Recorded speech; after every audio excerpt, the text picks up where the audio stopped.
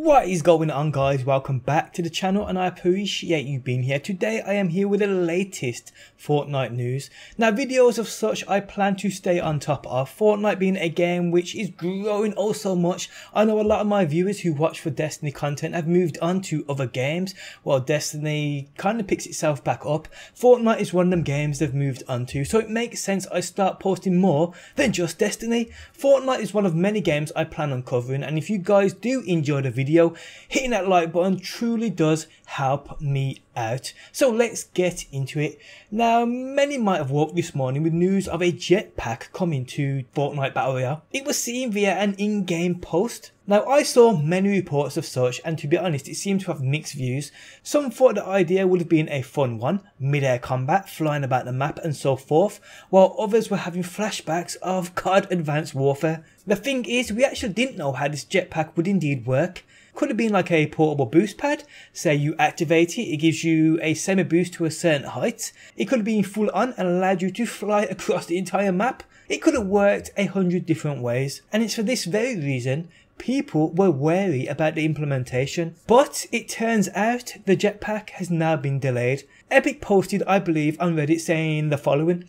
Hey folks, this week's new item is being changed from a jetpack to the hunting rifle. We found a last minute design issue with the jetpack that's going to delay its launch and we're working on correcting it. The jetpack will lift off at a later time. Meanwhile, You'll be able to enjoy lots of no scopes with a new hunting rifle item and a new lucky point of interest on the map.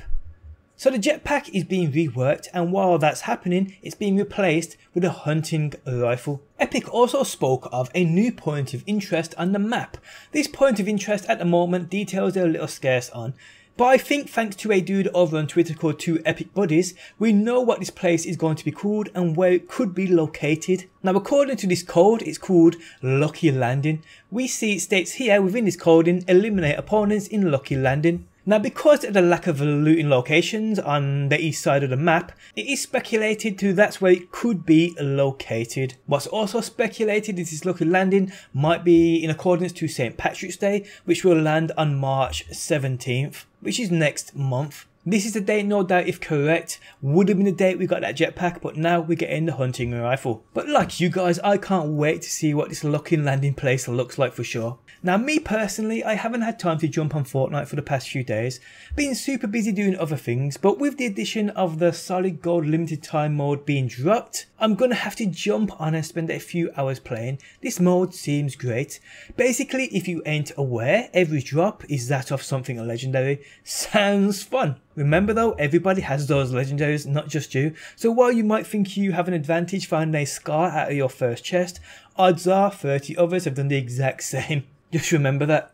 Okay, so to end the video, I want to talk about the return of double pump shotguns. You know having two pump action shotties, firing one, switching to the other. Firing that, this allowed you to fire super quick and was seriously effective as we all know.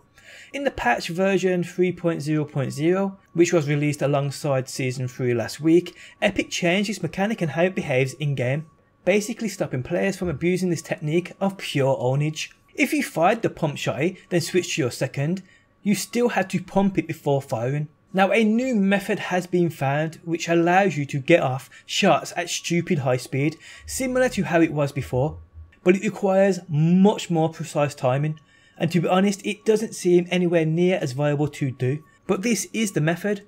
Shoot your first pump action shotty, eh?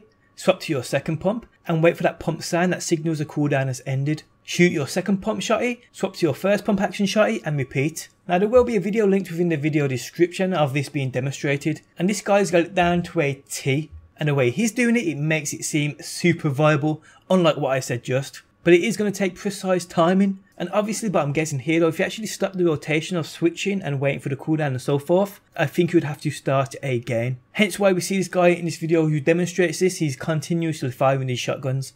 But if you do want to check it out, like I said, the video is linked within the video description and it seems quite effective for this dude for sure. So double pump seems to be back. While some love this mechanic, others hated it. It's just one of those things. But guys, on that note, I am out. If you enjoyed my first Fortnite news video, I plan on bringing these as often as news drops. If you enjoyed it, leaving a like, it really does help me and my channel out.